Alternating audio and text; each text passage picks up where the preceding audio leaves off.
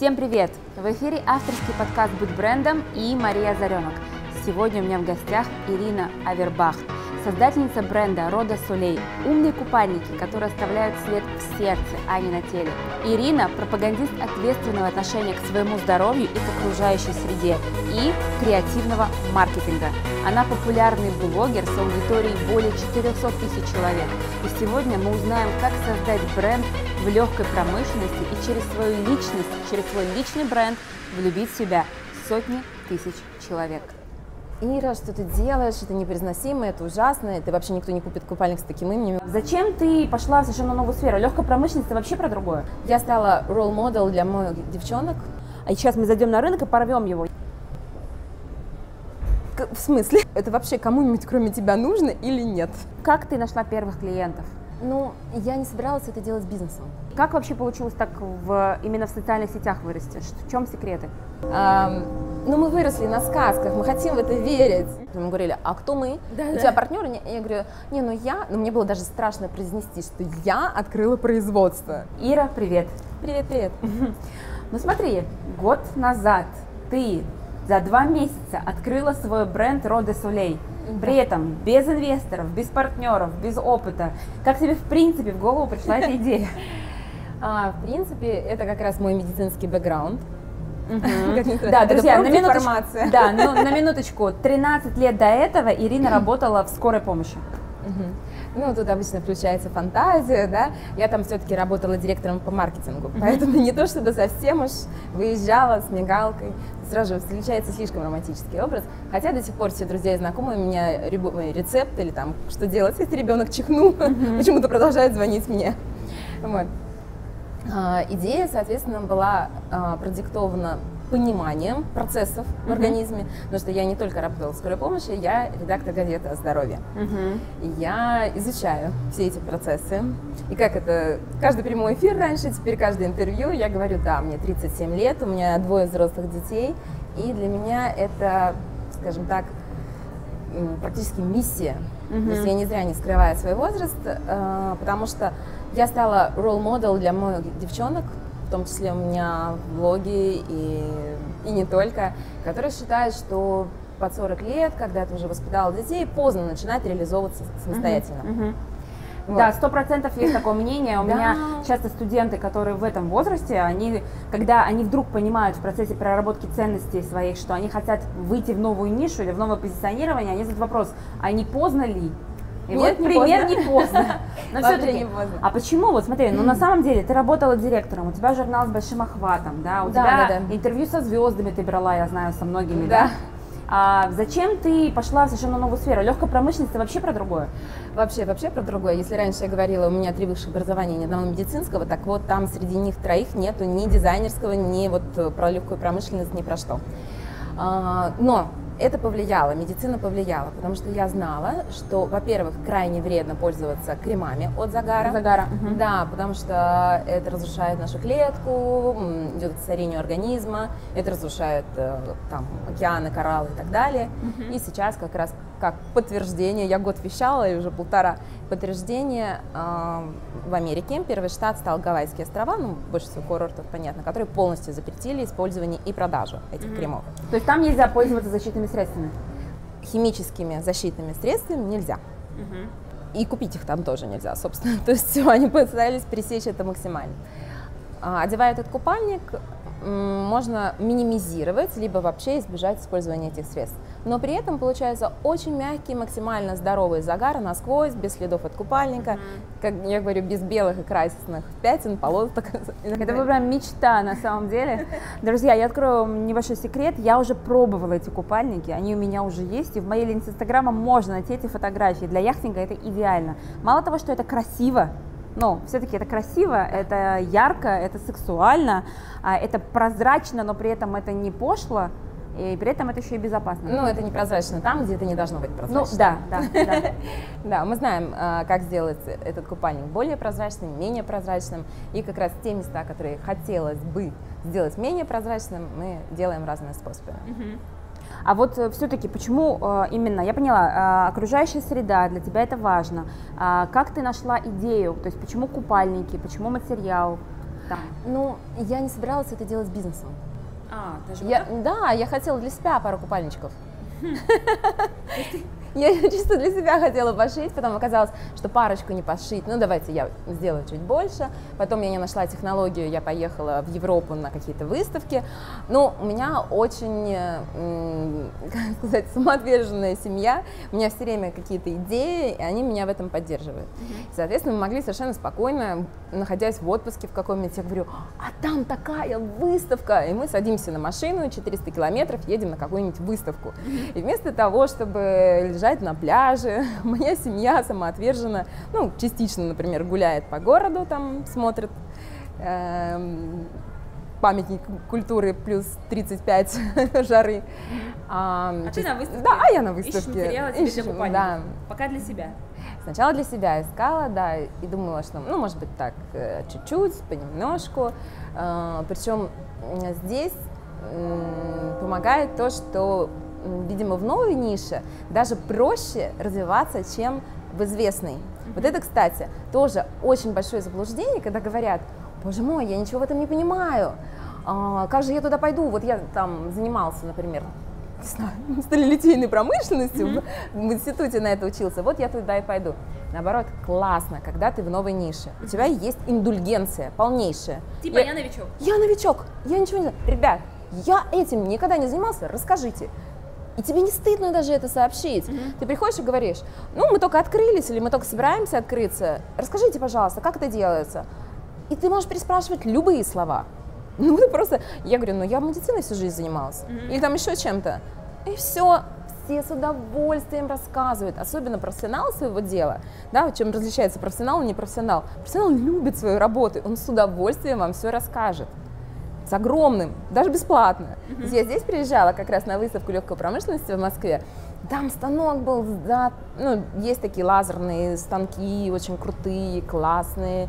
И так как я уже была в Европе, я знаю, какие сейчас технологии, я задавала ему интересные вопросы. У него казах стоял, который хотел у него станок за полтора миллиона евро купить а он со мной полчаса, там, если не 40 минут, потому что я задавала классные вопросы. Mm-hmm. Он такой, сейчас, сейчас, подожди. Мне менеджер его пихает уже ногой. Говорит, ты чего, обалдел, что ли, там надо? Он говорит, ну так вот твоя работа, иди с ним и разговаривай. А со мной там, да, вот меня никто, представляете, не спросил об этой функции. А она же есть, а она такая классная. Пойдемте попробуем сделаем. Я говорю, давайте попробуем сделаем. Но я хочу сказать, что ты из этой же категории, потому что мы познакомились на яхте, когда мы все были в обычных купальниках, и на яхте появилась Ира, в которой была в необычном купальнике, и, в общем, уже через два дня Угадайте, в чем была наша яхта? Потому что невозможно, э, мы столько разговаривали про них, как они работают, как нужно спасать кораллы, как так далее. Но тут также фанатик, ты заряжаешь. Да, ну это интересно, по-моему. Да. Это очень здорово. Слушай, а ну давай тогда технические моменты. Но да. все-таки а, легкая промышленность звучит угу. так грозно. Грозно. Грозно. Это же производство. Да. И еще я знаю, что у тебя производство не в России. Нет. Или частично не в России. А, ну, большая часть, конечно, не в России, основное все не, не в России. А почему не в России? Где? Как ты вот... А, потому что а, ткани все-таки для нас изготовили в Европе. Угу. И потому что у меня какой-то такой всегда глобальный взгляд, что весь мир наша песочница, как-то я буду себя ограничивать в России. А, если я себя не ограничиваю в России, то зачем мне ввозить ткань, чтобы потом вывозить продукцию? Угу. Мне проще уже там, тем более, что у нас все, вся фурнитура, нитки, ну вот все. А, там для прокраски все, э, ну краски, там это очень специфическая вся история, пропиток, mm-hmm. там все. Это все закупается только в Европе. Mm-hmm. Я там нахожусь, я официальный плательщик НДС. Я приехала на выставку, мне что-то понадобилось, через две недели это у меня. Ну, да. Все. Да. А если я приехала на эту же выставку и сказала, ой, привет, ребят, я такая классная питерская девочка, давайте вы мне в Питер пришлете, 90% скажут, м-м, мы подумаем и сольются. Те 10, которые согласятся туда послать, попросят предоплату, и я получу это через 3 месяца. А, для, а для бизнеса, для, особенно для ну, стартапа, да, это тяжело. Это очень, да. меня, я образцы получаю чашки. Мы, например, делаем чашки, конструкции, поддержки. Да, да, да. Не, ну понятно, мы же купальниках. Э, странно, что мы не прозрачны с тобой сегодня. Вот. А, соответственно, я не знаю точно, подойдет она мне, не подойдет, как это все будет. Э, я на выставке заказываю, мне присылают партию образцов, это бесплатно, через две недели они у меня есть. Если у меня там две-три там разных варианта там чашек прислали, я из них делаю образцы, могу с этими образцами приехать на выставку mm-hmm. и промониторить спрос. Все. Mm-hmm. Да, быстрый тест гипотез. Очень быстро. А в какой стране у тебя открыто? В Литве. В Литве. Да. То есть ты подумала... Там все просто. Почему вы... Там все очень просто. Мы открылись за два часа. За два часа? Да. Я не буду говорить, сколько я открывала ИП в России. Я знаю, у меня ООО а, в России окей. есть. Но мы же официальные дистрибьюторы. То есть то, что я работаю с Европой и с миром, я работаю через э, мою европейскую компанию. А то, что я работаю с Россией, я работаю через свою питерскую компанию. Угу. И То есть ты как бы возишь просто, Я вожу себе же. Себе же, да. Да, потому что возить по одному, кому-то посылать или там даже кому-то там сама же все делать, это достаточно ну, проблематично. Ага. Я себе же везла и дальше от себя же продаю. Как ты придумала бренд? Название? Или... Да, да, ну, да. название, я даже его не придумала, что называется, это мое родное. А, Рода – это Роберт и Давид, мои два сына. А Солей – это солнце.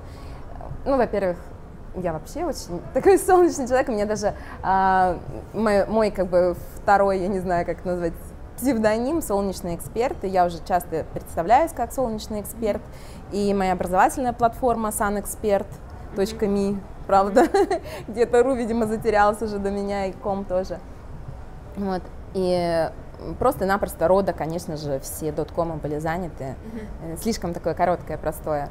А тут э, рода солей, все вместе. Не очень понятно. Очень многим не нравилось это имя. А, когда на, на этапе э, именно там подавали документы, понятно, что у нас вся стопка там патентов, товарных знаков и так далее есть. Ира, что ты делаешь, это непроизносимо, это ужасно, это вообще никто не купит купальник с таким именем. Я говорю, какая разница? Вы половина компаний, э, вы привыкаете, потом вы даже не обращаете внимания. Для меня это значимо. Uh-huh. Я ставлю вот это, как моя третья дочка, да, нету дочки, ни один у мамы сын, нету мамы дочки, да, вот. И для меня это несет какой-то смысл. А, ну а тем, кто не может запомнить, есть очень простое, умные купальники. Это тоже за, мой запатентованный товарный знак. Ты запатентовала это словосочетание? Конечно.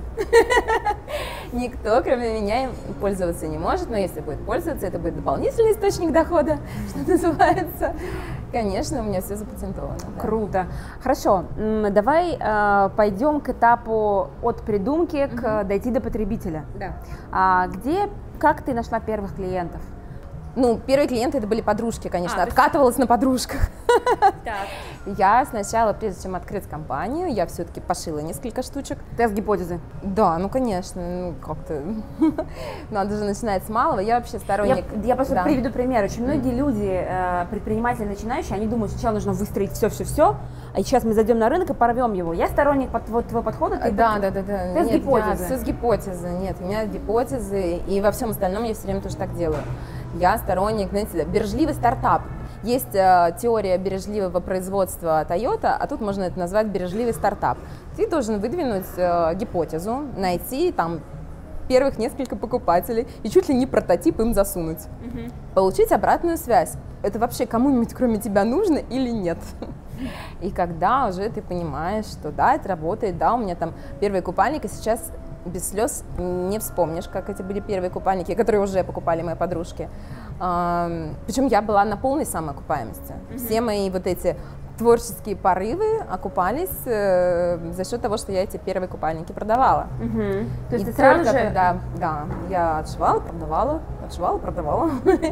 вот. И только когда я поняла, что а, причем мы работали с тремя производителями тканей разных. Uh-huh. И я ездила там на разные производства. И, ну, как бы я такая как сказать? Въедливая. Въедливая, да. Но мне напрашивалось такое слово сейчас.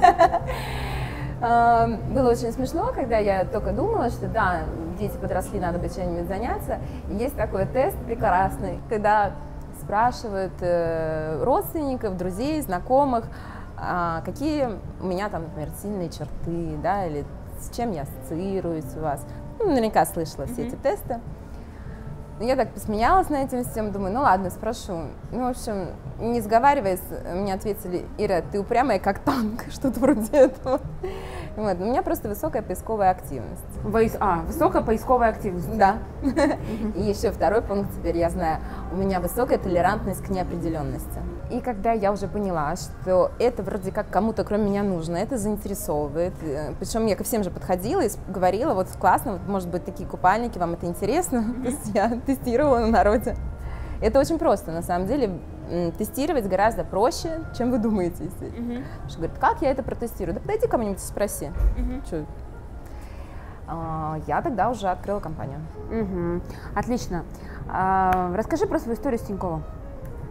Потому что я знаю, что ты связана с Тиньковым, причем удивительным каким-то волшебным, э, эзотерическим способом. Да, э, ну, это было, да, очень странная история, которую вообще никто не понимал, что это такое.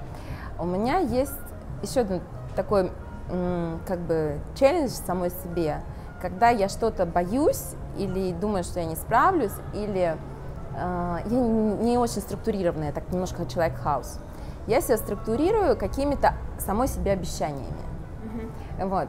И в самом начале, когда я уже понимаю, что я уже все, я уже ввязалась, я уже открываю эту компанию, все, уже надо ехать, мне было страшно так, что ну, невероятно потому что бизнеса никогда не было, опыта нет, партнера нет, ничего нет. Я понимаю, что очень ограниченные там финансы, и непонятно, что из этого всего получится. Я назначаю себе дату, когда я проведу лекцию. Угу. Думаю, лекцию? Лекцию, да. А у меня, как знаешь, у отличницы всегда э, я должна себя оправдать новыми знаниями. Угу. То есть если я как это будем заниматься, я в этом не разбираюсь. Думаю, надо почитать, надо что-то изучить, надо получить еще что-то, какие-то знания. Я назначаю лекцию, э, называлась она «Как разбогатеть, занимаясь тем, что любишь». Угу. Это положено Пентасевича как раз книжка была, ну, в общем, может, знаешь, сейчас не о нем речь. Там было много-много-много разных книг. Я вставала каждое там, утро в 5-5.30 утра, я готовила, сделала такие майнд-карты к выступлениям, все, перелопачивала все книжки по бизнесу, экономике и всему, чему я только нашла. Э, там по менеджменту, ну, все, что было только можно. И мне опять, причем я эту книжку уже читала, я ее повторно начала читать, попадается книжка Тинько. И там фраза, ну, понятно, что первые два года предприниматель не ест, не спит, там, времени семьи не посвящает, и вот э, все деньги, энергия, вот все, все только в бизнес. Если вдруг через год вы пресечете черту самоокупаемости, напишите мне, и, возможно, я стану инвестором вашего следующего бизнеса. И дается адрес. Uh-huh меня настолько это поразило, думаю, круто, Почему никто так не делает? Во всяком случае, я не слышу. Mm-hmm. Это надо так и сделать. Потом я походила, походила, подумала еще. И на этой лекции говорю, а что нам ждать? Mm-hmm. Мы понимаем, что э, во-первых, кстати, вот это мы, я очень долго говорила про себя мы. Мы говорили, а кто мы? Да, У тебя партнеры? Я говорю, не, ну я, ну мне было даже страшно произнести, что я открыла производство. Я даже этой фразы боялась очень долго. Вот. А, я понимала, что на год мне даже, даже на год мне уже не хватит инвестиций. И в силу сезонности продукта а, к марту мы открывались 15 э, мая. Угу. Уже мы будем понимать, пан или пропал, либо у нас уже есть подготовленный 19 год и какие-то заказы на него, либо уже все, еще один цикл, просто не хватит ни денег, ни ресурсов, ничего. Угу. И более того, я решаю, что не просто 10 месяцев я там какие-то свечения ставлю, а я с первого же четверга, то есть 18 мая, начинаю писать отчеты моему mm-hmm. будущему финансовому э, Это инвестору. был 2000... 2017 год, получается, год, да. да. И 15 мая открываемся, 18 мая каждый четверг начинаю писать отчеты. Mm-hmm. Вот придумываю сама хэштег «Мой отчет Тинькову». Так. И со второго отчета идет, они все идут на фоне лестниц разных, и эта лестница только вверх. То есть это вот. лестница только вверх. Все. Ты стартап э, и да. пишешь Тинькову да. отчет, как будто бы твой инвестор. Да, и у То меня есть, было... собственная фантазия, по сути. Да. да. У меня было где-то около трех тысяч подписчиков, а, ну, таких друзей в большей степени, знаешь, питерская такая тусовочка. Угу. А, и все. Меня начинают все спрашивать, Ира, что у тебя там с Тиньковым, там что, чего? Я говорю, да, да ничего особо, я просто вот пишу. Вот, э, народ начинает интересоваться, начинает как-то следить уже конкретно за этой рубрикой. Mm-hmm. И проходит буквально 4 месяца, со мной связывается бригада Тинькова съемочная. Говорят, ребята, вообще, что у вас там такое происходит, нам так интересно, мы открываем новую рубрику и хотим снять фильм про вас. То есть, друзья, давайте посмотрим. Ира придумывает э, после прочтения книги писать отчет Тинькову. А, потом команда Тинькова это замечает, Они связывается с, начинают с- с- следить, следят, да, связываются с. Ирой и приезжают и снимают про нее кино. Да. И оно выходит в бизнес-секретах. Да. Причем они приехали, они приехали в Вильнюс, там сняли, приехали в Питер, два дня снимали. Мы придумали там еще одну акцию, уже осень, холодно, Мгм. и чтобы была красивая картинка, я договариваюсь с оранжереей, чтобы до открытия оранжереи сделать там фотосессию. Начинаю писать девчонкам, там, а, блогершам, актрисам, там, моделям каким-то. Мы собираем тусовку там. Мгм. А, не профессиональных моделей, а именно ну, Девушек. классных девчонок, да, там тоже. Ну что я им все говорю, девчонка, вы представляете, Тиньков сам вообще снимет фильм. Народ на это приходит. Всем тоже интересно, всем хочется тоже в этом поучаствовать. Ну и в принципе, ну мы выросли на сказках, мы хотим в это верить. Это же реально были алые паруса. То есть я их придумала, я в них поверила, и они поплыли на горизонте. Обалдеть. А что изменилось в твоей жизни после того, как э, выпустился этот фильм, или как-то это повлияло на тебя? А, Вообще вся да. эта история, как она на тебя повлияла? Да, на меня повлияло. А, Я поверила в себя. То есть это был такой вот... Ну, я и так все время как раз, еще один хэштег, как раз вот твой купальник, это, эта лестница только вверх на нем написано. Второй хэштег ограничение только в голове. И вроде бы я всегда в это верила, всегда это говорила, но здесь я, это прямо вот у меня почувствовала, знаете, ощущение на кончиках пальцев. Когда я действительно вот на уровне уже убеждений поняла, что это так. Хорошо. Расскажи про себя как про ролевую модель. Я знаю, это совершенно очевидно, что ты для своей аудитории, у тебя сейчас более 400 тысяч подписчиков в Инстаграме. Причем, вот э, смотрите, это получается даже полтора года еще не прошло с момента, как Да. у тебя было, было 3000 подписчиков. То есть это, мягко говоря, более чем стремительный рост, причем всегда там по 100 комментариев, такие горячие обсуждения, поддержка тебя. А, вот здесь два вопроса, да? А, кто твоя аудитория? И являешься ты для них ролевой моделью, но я предполагаю, что да. И вот расскажи, в каких аспектах, да? И как вообще получилось так в, именно в социальных сетях вырасти? В чем секреты? А, секреты как раз были, вот э, Мачо Тинькова, это была не единственная такая история, а, и вот эта математизация чуда, что называется. Материализация, ага. Математизация. Математизация? Так, окей. Чудо, чудо с математической точки зрения. А. Ну, все же можно записать некие алгоритмы. Окей, Тиньков у меня получился случайно. Так, Но я подумала, у меня же математический все-таки склад ума. Так. Я физмат с медалью закончила, у меня первое образование компьютерные технологии управления базами данных. так. Поэтому я сделала некий алгоритм, вот я сейчас его преподаю, как раз он называется «Принцип алые паруса». Так. И Друзья, попробовала- принцип пары алые паруса. Так. Да. Я подумала, а что если попробовать повторить это и на разных, эм, скажем так, примерах э, эм, я попробовала так и так с этим поиграть. Мгм. И это работает. Ну, Чудо случается в конце. Давай конкретный пример, ну, чтобы было понятно. А. С Тинькофф вообще как космическая история. Э, Еще какой-то пример, вот более такой вот приземленный. Ну, как я стала бизнес-спикером, что тут приземленного-то? Давай, как ты стала Ну вот, я точно так же. То есть я сказала, что я... С какого момента ты становишься бизнес-спикером? Вот тебе вопрос. Ну, для меня я стала бизнес-спикером с момента, когда меня позвали рассказать про бизнес. А почему тебя позвали? Потому что у меня были компетенции, которые были проявлены на Ютубе. А, Меня ты через YouTube узнали о Мгм. том, что у меня есть результаты. И Ну ты хотела этого?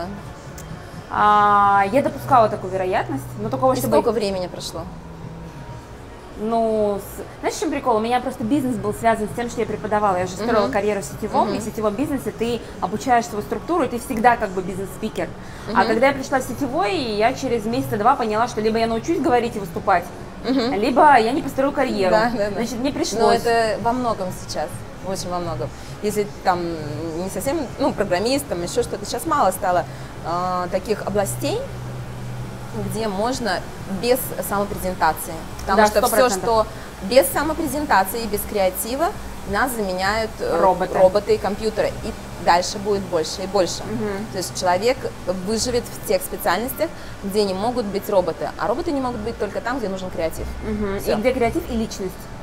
А, меня в этом Да. смысле э, часто говорят, а что вот вы предрекаете роботи- э, роботизацию, да? Но это не я предрекаю, футурологи предрекают. начнем Ну, это этого. так и есть, да, это тенденция. Да, и спрашивают, а как же вот ваша теория про личный брендинг? Личные бренды вы возрастет. Да Вот нет, сто процентов. Нет, нет. Так вот, почему я про это начала говорить? А, Соответственно, у тебя было растянутое во времени а, вот это твое бизнес-спикерство. Чем отличается креативный маркетинг, чем отличается вот этот мой способ, про который я говорила? Это как бы квантовый скачок, когда ты прогрызаешь дыры э, во времени, в пространстве, да, такая телепортация. Оп, и все.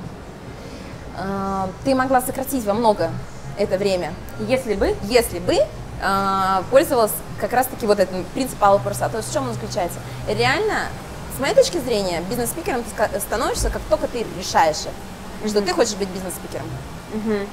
И дальше ты совершаешь там ряд шагов, да, понятно, что ты будешь прокачивать скиллы, понятно, что ты там будешь предпринимать некие попытки, а, там, не знаю, э, сказать миру о том, что ты вот бизнес-спикер, а, начать выступать на маленьких аудиториях и так далее. Но они абсолютно понятны, эти шаги. Они прописаны, они четкие, они работают в любой сфере, это не только бизнес-спикерство. И реально, смотри, год назад я начала а, только свой первый в жизни бизнес. Год. И я подумала, что да, для того, чтобы быстрее это продвинуть, именно с точки зрения, у меня не было денег на рекламу, у меня не было денег достаточных на маркетинг, на продвижение, у меня еле-еле, то есть у меня все уходило на фонд, фонд оплаты труда. На фонд. На фонд. А, И а, я понимала, что мне нужно что-то другое. Я решила, что это будет бизнес-спикерство, я буду делиться своим опытом. И там, где я сейчас выступаю, выступают люди с миллиардными оборотами.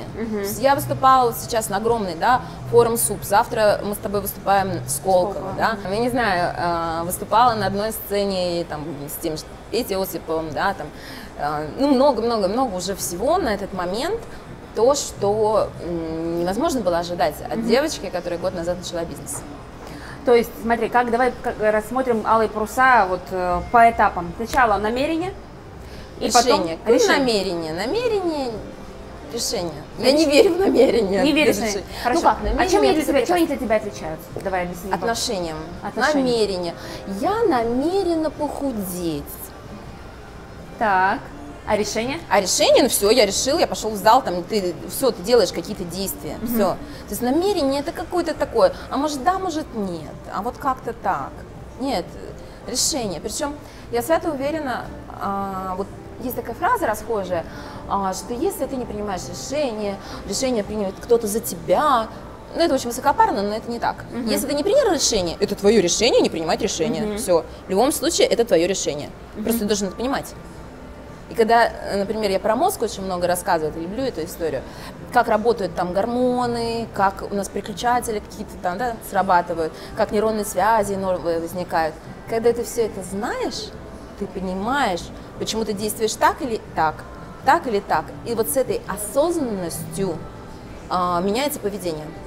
Потому что ты осознаешь, что ты сейчас поступаешь так, потому что твоя амигдала так захотела, а не ты, например, да, там. Точно так же здесь, когда ты знаешь некие там алгоритмы там, или еще что-то, ты понимаешь, что можно сделать так или так, и какие будут последствия. То есть, в принципе, это все. То есть купальники, я говорю, у меня нет амбиций ни дизайнерских, ни там, не знаю, там, по сути, мы не купальники продаем. Это миссия, это философия осознанного, как да, уже говорила, отношение к здоровью, окружающей среде. Когда ты понимаешь, почему, да, должен быть такой купальник, а не такой. Почему у ребенка должен быть купальник только с длинным рукавом? Мы даже не делаем для детей купальники без длинных рукавов. Я, кстати, хотела свое ощущение, почему я купила купальник и не один.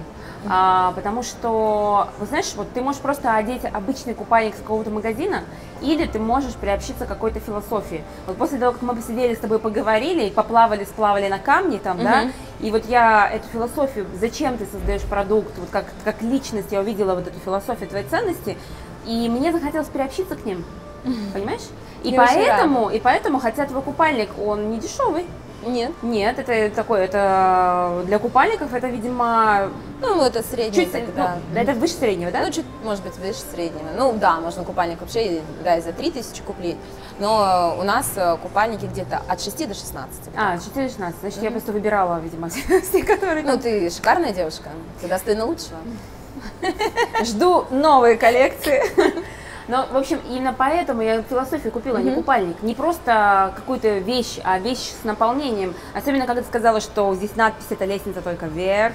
Ты объяснила смыслы, которые ты вкладываешь именно в эту коллекцию, например. Вот. И давай вернемся к вопросу про ролевую модель. Да. А, Мне очень ценно донести, что мы в любой момент времени, в любой момент жизни, при любых обстоятельствах а, можем развернуть свою жизнь куда угодно. Мы иногда становимся заложниками того, что было, да, того, Мгм. что мы кому-то пообещали, или того, что кто-то от нас ожидает. И говорят, вот тебе легко, у тебя такая классная идея этих купальников, вот ты с идеей с этой идешь, а у меня нет идеи, я не знаю, чем заняться. Я говорю, занимайтесь чем угодно. Вы пока начнете чем-то заниматься, хотя бы в той области, которая вам нравится, а, вы начнете знакомиться с другими людьми, вы поймете, какую литературу вам надо почитать, каких скиллов у вас не хватает, что вам нужно, вы начнете хотя бы общаться, научитесь это делать. У меня тоже, мне мама говорит, у меня мама вообще, это главный помощник, главный эксперт. Я ей тоже первые наши там вебинары посылала. Мама, говорю, как здесь, как тут. Говорит, Ир, год назад, когда твои были прямые эфиры, но это, говорит, ну, вообще было такой бледный лепет. Сейчас так интересно, я, говорит, сама слушаю, смотрю. Это не то, что я раньше тоже вот так вот вещала, выступала, могла подойти к кому-то, да, как я Пентасевича украла после выступления. А как Вот. ты его украла? Слушай, это вообще... Вот еще одна фишка, э, друзья, еще, одна, еще один скилл, который Ира активно использует, он у меня прокачан, это нетворкинг. Расскажи про нетворкинг. Ведь многие Да. тоже боятся, знаешь, боятся подойти, Мгм. боятся сказать, боятся самопрезентовать. Ты очень классно придумала себе вот эту самопрезентацию, солнечный эксперт, это интригует. Да, есть о чем поговорить. Есть о чем поговорить. Это к вопросу о важности самопрезентации. Как ты это делаешь? Почему ты не боишься? Ну, я боялась раньше тоже. Как? Во-первых, да, Да. это преодолевается э, по чуть-чуть. Ну, э, чтобы расширить зону комфорта, вы просто по чуть-чуть ее расширяете, да, растягиваете. Э, сначала немножко здесь, немножко там. Есть же теория 10 тысяч часов. Но если вы э, это делаете там раз в месяц, вы вышли куда-то на вечеринку, постояли в углу и ушли, да, то у вас, э, ну вот, два часа это не сильно эффективно в месяц. А когда ты это делаешь постоянно, постоянно с кем-то общаешься, больше, больше, больше, там, э, не знаю, выходишь в прямые эфиры даже перед своими 50 там, подписчиками, или тебе задали вопрос, вместо того, чтобы сказать, ну, я вот точно не знаю, и пошла, да, одному человеку проведите презентацию, и пойдет дальше. Потом очень классно работает, когда есть какая-то идея. Типа, не ты такой, а у тебя партзадание. Ага. Вот, и у меня была такая история, э, я скаламбурила, фамилия Авербах, я сделала хэштег Авербук. А, мгм. И я рассказывала про книжки самые классные. Это тоже э, фраза из книги Бодешофера, что если вы встретили человека, не тратите время на пустые там болтовню, знаете у него, а, какие три книги он вам порекомендует, почему. Мгм. Собственно, через две, два месяца, опять-таки, вот они, алые паруса, через два месяца я встретила самого бодишофера случайно. Да ладно? Да. Где ты быстрее? Иду по Питеру, по Невскому. Амстердаму. В Амстердаме? Встретила на улице? Нет, я его не на улице встретила, я была в Амстердаме на Тони Робинсе, А. и там проходил бодишофер. Слушай, У меня алые- паруса реально работают. Работают, они работают вообще офигенно. И я уже подходила к людям, не просто «Привет, меня зовут Ира, у меня 3000 подписчиков», а я говорю «Здравствуйте, у меня рубрика Авербук, я у известных людей беру интервью о том, какие они рекомендуют книги». Ну, как вы думаете, к человеку подходишь с таким запросом? Ну, интеллигентный человек не пошлет, неинтеллигентный скажет «Не, ну книги это интеллигентно, я тем более скажу». Слушай, Так что вообще отлично работает. Придумайте себе какую-нибудь э, миссию, я не знаю, рубрику, партзадание, что-нибудь, что вы не просто так, да, а у вас есть идея какая-то. Да, надо, надо. Да, Надо. вот мне надо. Здравствуйте, вот я э, собираю там отзывы для натура... э, кружка натуралиста. Меня всегда была такая тема, что а, м, при, если ты боишься заниматься нетворкингом, нужно под- подходить людям и спрашивать, а, как они относятся к нетворкингу вообще, как они приветствуют ли, когда с ними знакомятся новые люди. Опрос-запрос, знаешь, это вообще. Да. Ну, это немножко высосано из пальца, и если у тебя нет опыта общения, тебе сложно эту тему будет развить. Да, да, да. А когда у тебя Про- реальный вопрос, например, про книги, Книги, да. Ну, это всем есть что сказать. Слушай, ну а смотри, все-таки рост твоего инстаграма все-таки более чем стремительный, ну, потому что многие люди идут к этим количеству подписчиков даже среди наших гостей, там 5 лет, 7 лет, там полмиллиона подписчиков почти. А, а почему это отражалось на росте подписчиков? А людям нравится необычное. Людям нравится именно ощущение сказки. Мгм. Вроде бы как чудеса, но они регулярно случаются. Почему? И кроме того, я не про эзотерику. Да, есть очень много сейчас девочек, которые пропагандируют там карту желаний. Я не верю в карту желаний, на меня она не работает. Почему? Потому что карта желаний это по сути ну, некий такой обман мозга. А у меня здесь э, такой с- страж логический. Я поэтому, кстати, тоже учу входить в альфа-состояние, когда притупляется логический страж. Соответственно, э, ну, на таких людей работать не будет. На математиков не работает. Работает ну, на других людей.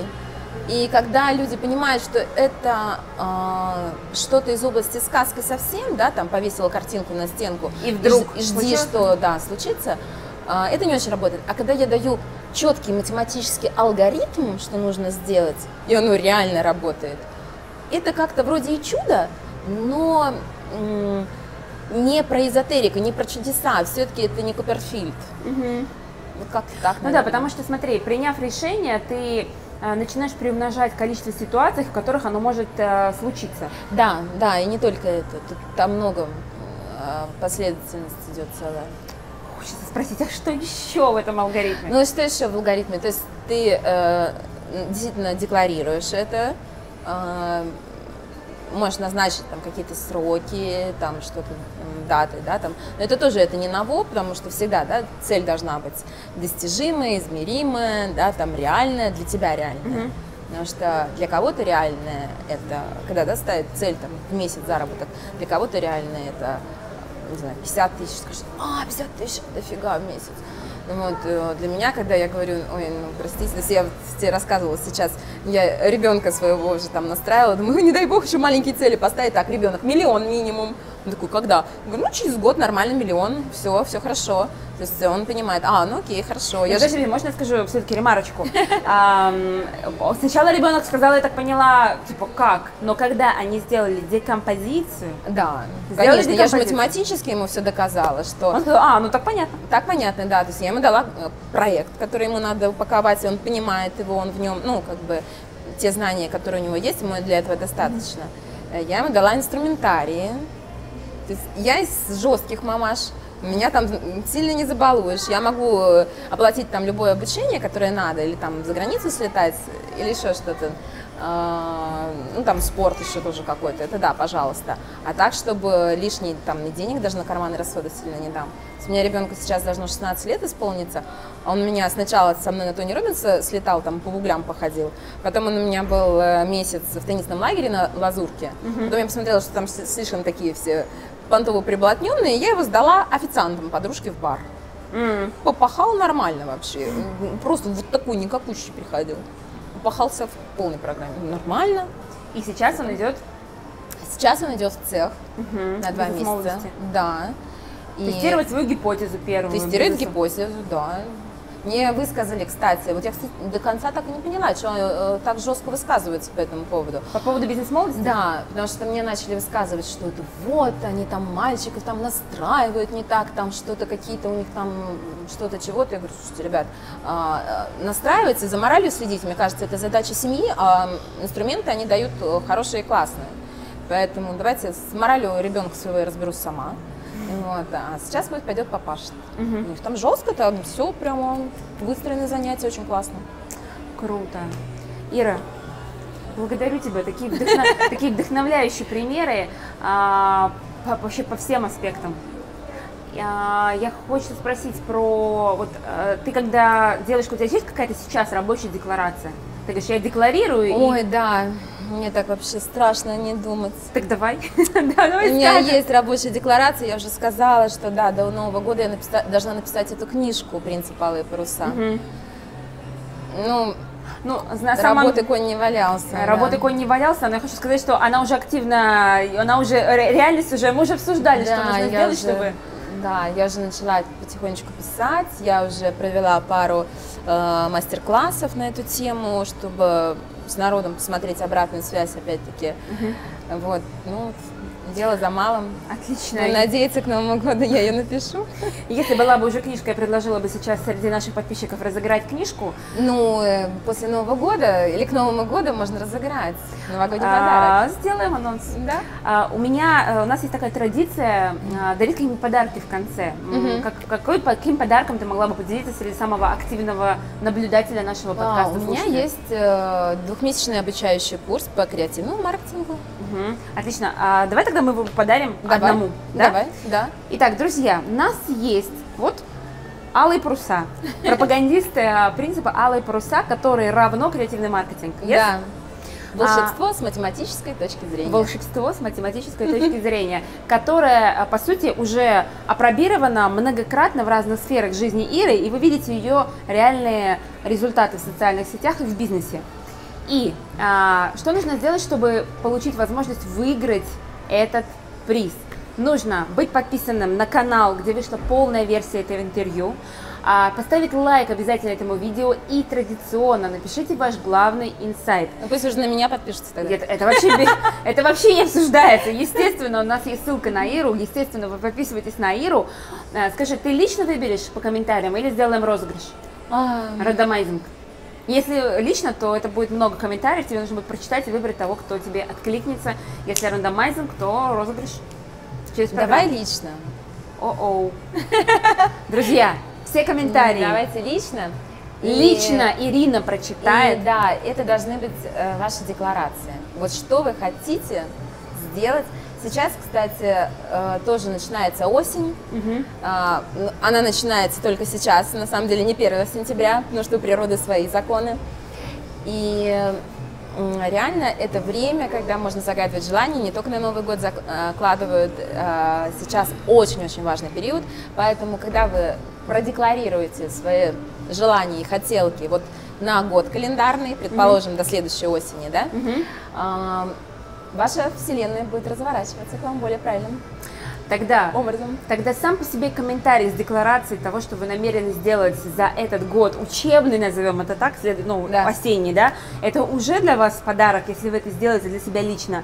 И одну из деклараций Ирина выберет лично и welcome на двухмесячный курс по креативному маркетингу «Принцип алые паруса». Да? Я благодарю тебя за эту встречу, за это знакомство. Мы не случайно попали на эту яхту. Да, очень круто. Спасибо, Машенька. Мне очень хочется донести мысль для девочек, что если мы выходим э, в область бизнеса с мужской энергией, стараемся там быть такими жесткими, вот мы такие вообще правильные, мы бесполые, мы заведомо проиграли. Потому что мужчины, разумеется, более эффективны в роли мужчин, чем мы. Они родились мужчинами.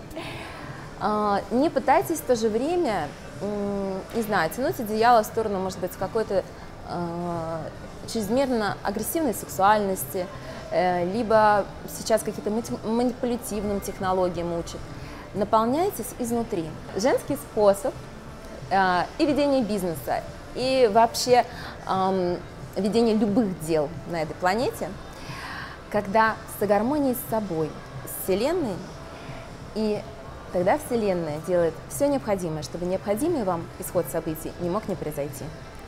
Не упираемся рогом, не пытаемся, как мужчины, пробить стену. Вот вам надо что-то, а у вас не получается. Много раз у меня был такой за- затык. Вот я понимаю, вот мне надо туда, но никак. Просто отпускаешь немножко ситуацию, идешь и занимаешься собой, саморазвитием, благотворительностью, чем-то, что наполняет тебя духовно, чем-то, что наполняет тебя женской энергией. И дальше что-то происходит, вы встречаете какого-то человека, какие-то события происходят, и все. И либо рассеивается вот это препятствие, либо кто-то тебя за руку переводит, и ты идешь дальше. Это происходило много-много раз. Это реально работает. Не упираемся рогом, а наполняем себя энергией. Опять-таки, вот благотворительность – это очень женская история. Помогите кому-то. Почитайте, не знаю, кармический менеджмент, тоже работает. Идем дальше. Будьте счастливы, прекрасны и э, мягкие. То есть женская сила, женская э, и слабость одновременно в том, что мы как ртуть. То есть ртуть не, невозможно ударить. Да, это металл, но если по ней ударить, она просто расплылась и пошла дальше, куда ей надо. Не пытаемся отвечать на давление, просто мягко идем дальше, куда нам надо.